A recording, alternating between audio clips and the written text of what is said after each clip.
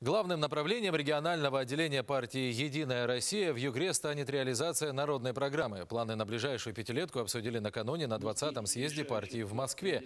Напомню, югорчане внесли в народную программу около 40 тысяч предложений. На Генсовете созданы специальные комиссии, которые отвечают за ключевые задачи и направления программы. Это позволит оперативно разрабатывать меры, направленные на ее эффективное и своевременное исполнение. Напомню, по итогам сентябрьских выборов большинство мест в окружном парламенте и Тюменской областной думе получили представители партии «Единая Россия». Главная наша цель – полностью вы- выполнить те обязательства, которые заложены в народную программу. Это первое, что будут спрашивать с нас люди, наши избиратели.